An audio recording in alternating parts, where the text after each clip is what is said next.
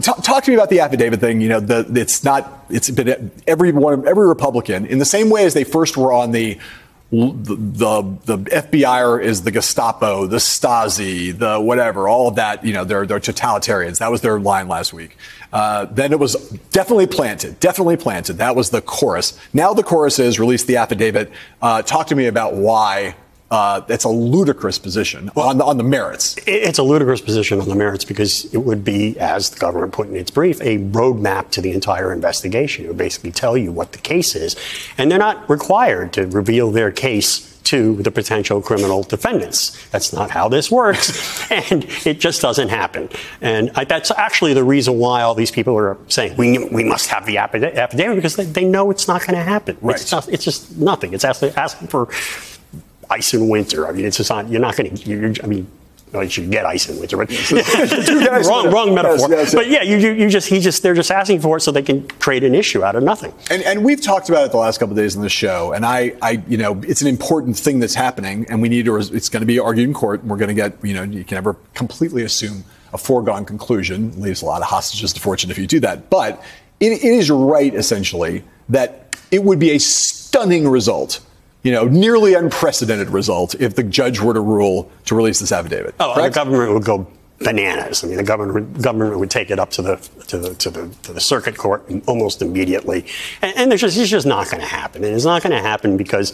um, you know, that the law doesn't allow it to happen. There's, there's, grand jury secrecy rules. I mean, this is just nothing. There's just he has no entitlement to it. And beyond that, they have a particularly strong case. In, in addition to, you know, they have all this boilerplate language from the, the cases where that, all these other cases where the where the motions like this are denied. But this is a guy who has a history of obstructing justice. I mean, you know, we have multiple, multiple uh, uh, description, uh, multiple occasions on the, in, the, in the second volume of the Mueller report when he was obstructing justice, yeah. and we, he's, he's, he's been doing it right up to the present day with the January 6th witnesses, you know, try, calling up some dude at the, you know, some former sort low-level person at the White House and, and, I'd say more. I'd say more than a history. It's like a, propen, a propensity, a, pro- a, procli- a, proclivity. A proclivity. Yes. Um, it's like almost a hobby a, for him. hobby. Um, yes, well, but here's but here's the profession. thing. If I yeah, if I remember correctly, as I was reading this thing from the Washington Post, where it's about like all the lawyers they're trying to get, the high-powered lawyers, the good lawyers, all of them saying no.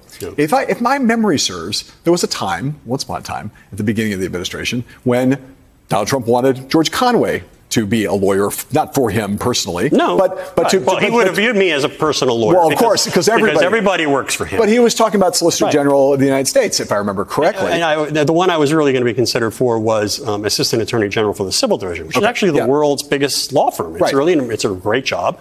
And you said and you said no. You took no. yourself out of consideration. I'm asking you this not to rehearse old history, except to like yeah, you were, as I mentioned before, a very high-powered lawyer with a with a huge career as a litigator in this town. What was it that made you think at that point in early 2017, like, I don't want to be part of this?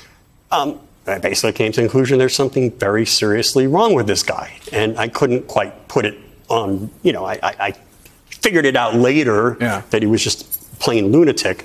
But you know, I just, I, I mean, I saw what he was doing with, uh, you know, firing Mueller, and then and then and then going out on television and saying, uh, talking about, I did it because of Russia. I mean, there's there was a screw loose there, and I was wondering, like, how big is that screw? And and you know, and and when he when he appointed when when when Rod Rosenstein appointed uh, uh, Mueller to be a special counsel, I just realized, you know, this guy's going to be at war with the Justice Department right. for years, and I'm going to be at the Justice Department. Forget about it. But this is why when I read a story like that, I know you have to write these things in English. So you say Trump's divisiveness and his uh, propensity to not take advice or to stiff clients. That's what you write for the Washington Post, and all that's true. Yeah. But I would think if you were a high class uh, lawyer, the kind of lawyer that Trump would want to defend himself in this case, that most of those people would not. Those are like almost pedestrian reasons to not want to be part of this. Now, what you've seen over the last five years is a, a, serious person, a serious lawyer, wouldn't touch this client with a barge Absolutely. pole. He, he, actually consulted me after I withdrew from a consideration to be an assistant attorney general. He actually had a, I had a call in my office two blocks away um, from the White House, from the president, with about 10 people with him Vice President Pence, Jared, um, who was the chief of staff then, uh, Reince, and, uh, and, the, and a whole bunch of people. And, and he was going through the names of prominent American lawyers from major law firms in the United States whom he was considering um, hiring. And you know, none of them wanted to have anything to do with him. And I was I was giving the pros and cons for all these, but it was all it was all a mindless exercise because none of these people, none of these law firms want to have anything to do with him. Now, now there are some lawyers who do want to have something to do with him. and I want to bring in Carol Lee in a second. Um, actually, bring her in now. NBC News correspondent Carol Lee. Carol, um, it's good to see you. Um, I want to I want to get both of you guys to talk about this because we've met some new n- some new lawyers uh, in this in the look over the last eight days, and we've just talked about how all the really good ones don't want to work for him. So here's, uh, I want to play this because it goes right to the news of day here. One of those lawyers that we see now, there's that woman, Miss Bobb, who we see sometimes. And now there's also this woman named Miss Habba, Alina Habba, who was on Newsmax yesterday. And she, she basically made a demand what Donald Trump wants from the Justice Department. Let's play that sound and we'll talk about it the president's position, the same as what I would advise him, is to ask them to uncover everything so that we can see what is going on. I understand the witness protection issue, but at the same time, these witnesses are truly not going to be um, concealed for very long. That's just not the nature of the DOJ and the FBI, and unfortunately, our country there's always leaks. You know, I, have dealt with that even with, um, you know, local law enforcement. There's leaks when there shouldn't be. So I think it's in the best interest so that the com- country can get comfortable to see what the basis was, especially from somebody who is cooperating, yeah. who was working with them, with his attorneys. Um, this is not a, a reason to be blindsided. Carol, uh, George used a phrase a little while, a few minutes ago that was like, "That's not how this works." I would say that uh, the demand that the government reveal the witnesses uh, that it used to uh, justify getting the search warrant, that's another one of those, yeah. that's not how this works kind of things, right? Um, it, how is it going in Trump world with mm-hmm. these kinds of attorneys making claims on television that even if you're a partisan, a pro Trump partisan, you have to wonder is the president really well represented by some of these people?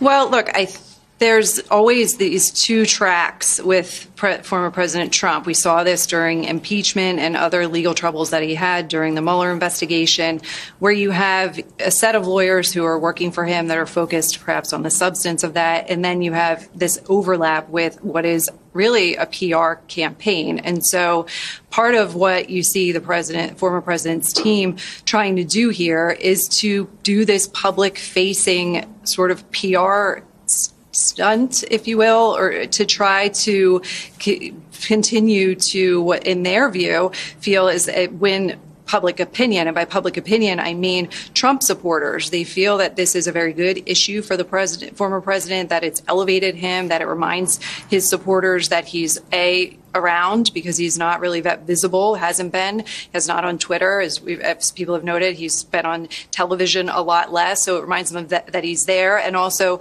of why he ran in the first place and why they liked him. They like seeing him, and, and when I talk to people in Trump world, that, that his supporters really like seeing him in a fight. So when you see a clip like that, and you hear for these calls for things that any lawyer knows is not going to happen, that's not how investigations work.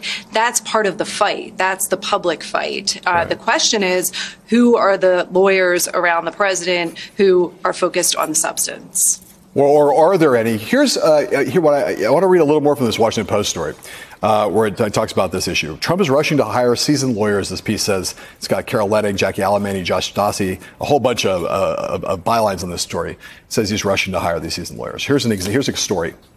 One lawyer told a story from early in Trump's presidency of his legal team urging him against tweeting about the Mueller probe, only to find he'd tweeted about it before they got to the end of the West Wing driveway. Uh, several people said Trump was nearly impossible to represent and that it would be unclear if they would ever get paid. Now, um, it is you have written that this this investigation, George, uh, represents the shortest distance between Donald Trump and an orange jumpsuit, correct? I said it. So the most serious, so the most, Ridner said, same thing okay. in our world. In, the, in, this, in this courtroom, both are admissible. That's true. Um, so this is like the most serious legal jeopardy he's ever been in. Yes. Correct. Okay. So the lawyers, uh, again, I go back to Miss Alina Habba, uh, whose, uh, whose professional experience includes serving as a general counsel to a parking, parking garage, garage company. Yeah Uh, she started representing Trump last year in a number of cases, including the E. Jean Carroll defamation suit. Uh, she was sued last month by a black former legal assistant who claims that she was tormented by her boss loudly and repeatedly singing the N word while listening to rap. The lawsuit alleges that Habba uh, lost her cool uh, about Letitia James and angrily shouted, "quote I hate that black B word."